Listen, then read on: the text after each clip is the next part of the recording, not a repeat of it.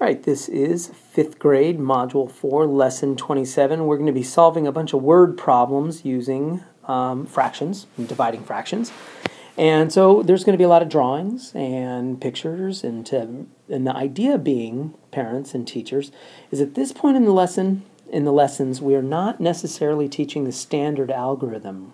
Right now, we're teaching students how to get the answer to division problems using number sense ultimately they are students are going to learn that standard algorithm. But, but at this point in our little developmental stage we're trying to still make sense of what division even means. So let's get started. So kelvin good old kelvin ordered four pizzas for a birthday party and the pizzas were cut into eighths. How many slices were there? So we're going to draw four pizzas and i'm going to be quick about this. I'm just going to draw four pizzas like this there's my four pizzas right there. So there's one pizza, one pizza, one pizza, and one pizza. It says each pizza was cut into eighths. So each pizza was cut into eighths.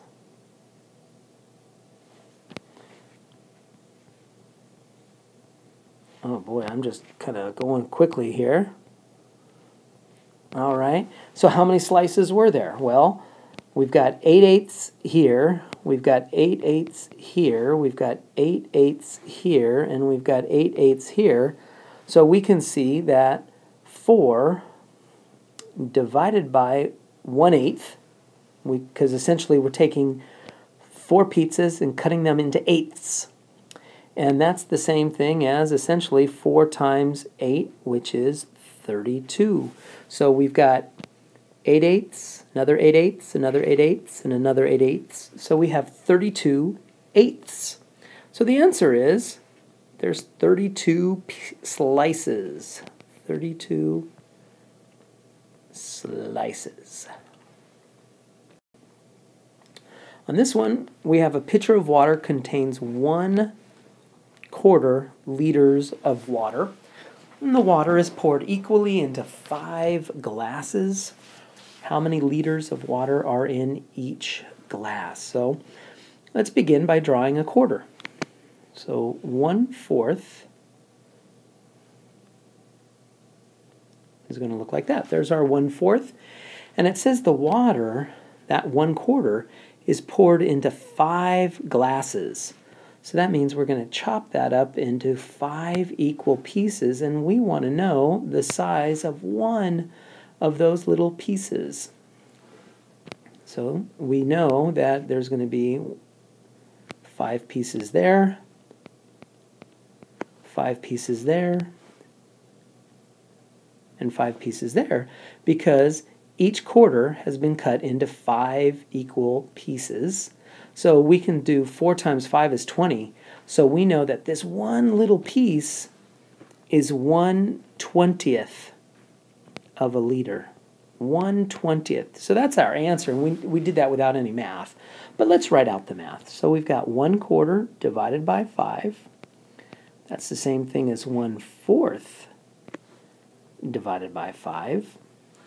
And 1 fourth, well, instead of calling this 1 fourth, if we wanted to, we could call this right here, we could call this 5 twentieths. So we could call this 5 twentieths divided by 5, and 5 twentieths divided by 5. 5 divided by 5 is 1.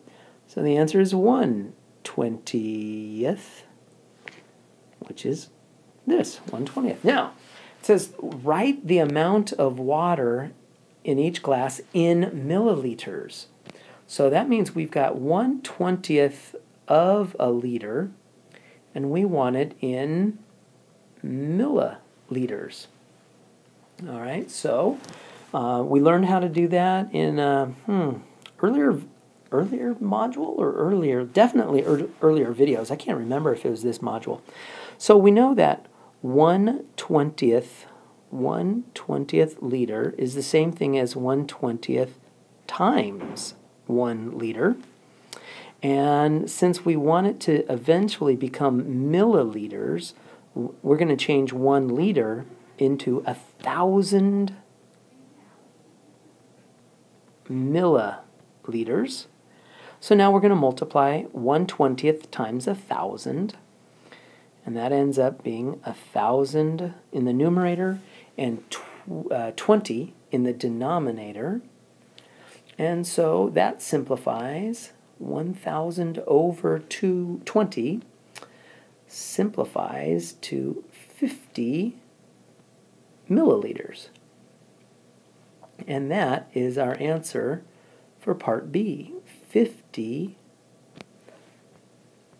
milliliters. So parents, teachers, I went pretty quick on this slide, so make sure you pause as necessary so that the students can understand the calculations.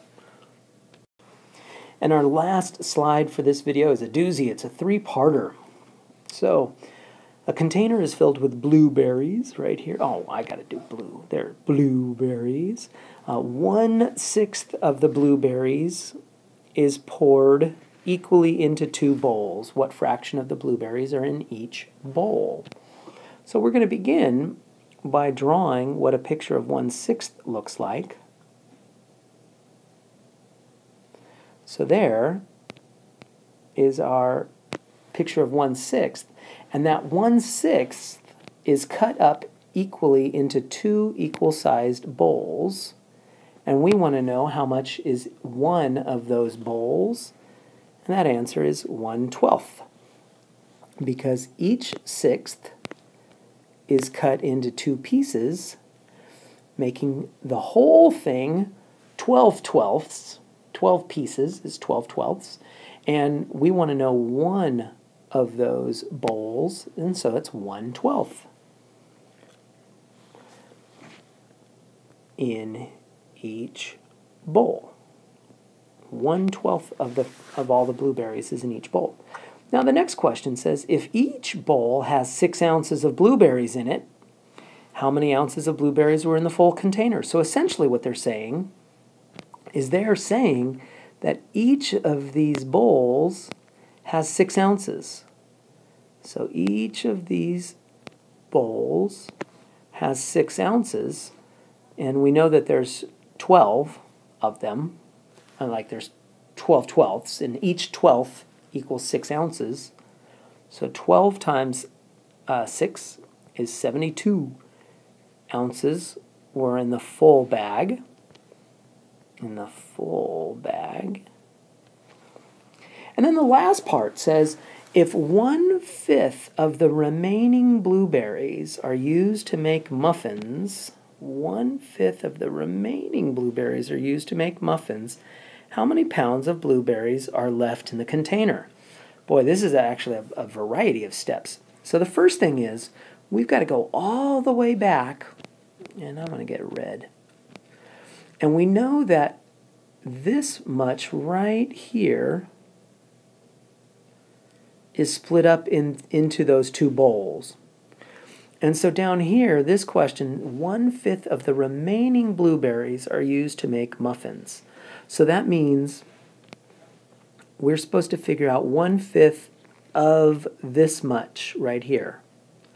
So if I count, that's 1, 2, 3, 4, 5, 6, 7, 8, 9, 10. So 6 times 10 is 60 ounces. So one fifth,